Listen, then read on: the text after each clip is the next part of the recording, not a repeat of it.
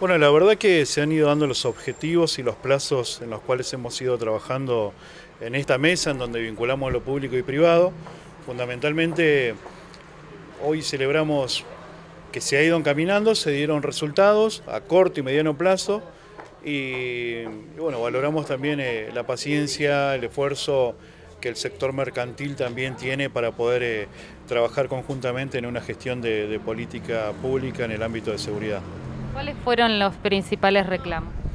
Los reclamos que surgieron fueron ya hace dos meses atrás, bueno, el sector mercantil en la zona de San Juan, Barrio Norte, eh, nos, plantearon bueno, alguna, alguna demanda que tiene que ver con, cuestiones de delito, robos en algunos comercios específicamente.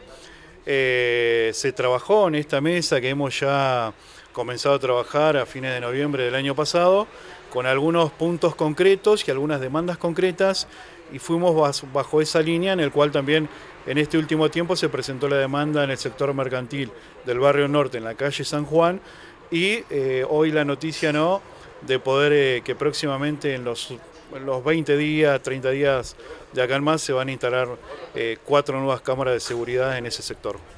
Eh, respecto a las cámaras de seguridad, hace poco se conoció que en la provincia de Río Negro van a poder ser utilizadas como prueba, por ejemplo, en, para futuros juicios. ¿Esto cómo les llega a ustedes a la provincia de Río Negro y qué significa? ¿Cómo se traduce? En realidad el funcionamiento de la cámara y el objetivo justamente el más fuerte que es de prevención, porque son cámaras que están monitoreadas durante las 24 horas del día por personal del centro de monitoreo pero también es una herramienta eficaz y una herramienta de, es un material probatorio eh, para la justicia, eh, que eso también es sumamente importante para después un proceso también que tenga que ver en el ámbito judicial.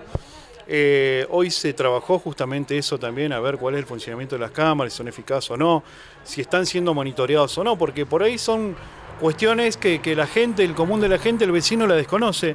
Y es sumamente importante también trabajar sobre eso, ¿no? Dar eh, la información necesaria, como también el llamado al 911, cuál es la inmediatez, cómo es el proceso y demás. Eso es importante poder trabajarlo en estas mesas, en donde participa lo público y privado, pero también eh, fortalecer los vínculos también con, con otras instituciones. Hoy trabajamos con, con, con, otras instituciones, referentes sociales y referentes también del sector mercantil de la zona norte.